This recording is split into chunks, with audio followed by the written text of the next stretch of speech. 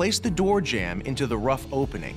Be sure that the bottom threshold extends into the room toward the back of the cabinet. Make sure the bottom threshold is level as well as both sides of the door jamb. If the jamb isn't level and plumb, the door will not swing and close properly. Next, pre-drill and countersink three holes into the door jamb using the 1 8 drill bit.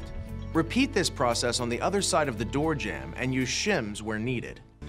Next, place the door into the door jamb and make sure that the bottom hinge sits into the silver thrust bearing. Next, press down on the bottom of the hinge lock pin to retract the two top pins.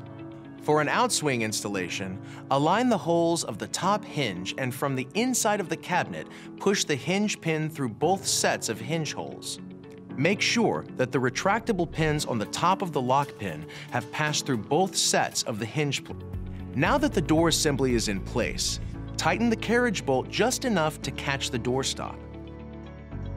Next, add two shelf holders where you desire, and then add two more directly across from the first two. Now slide the shelf into place onto the installed shelf holders. Repeat this process for the remaining shelves.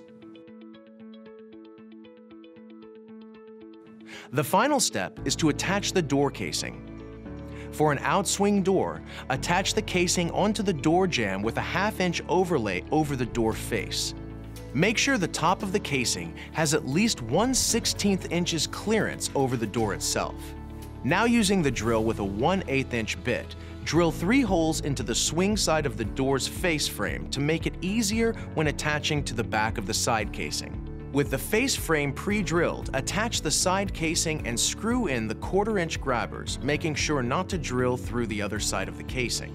Now with the casing installed, attach the hinge side casing with a brad nailer or a hammer and finish nails, then attach the top casing.